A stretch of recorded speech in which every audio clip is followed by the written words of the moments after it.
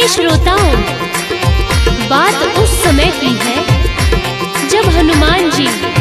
श्री राम जी की अंगूठी लेकर माता सीता के पास जाते हैं और माता सीता उस अंगूठी को देखकर क्या कहती है,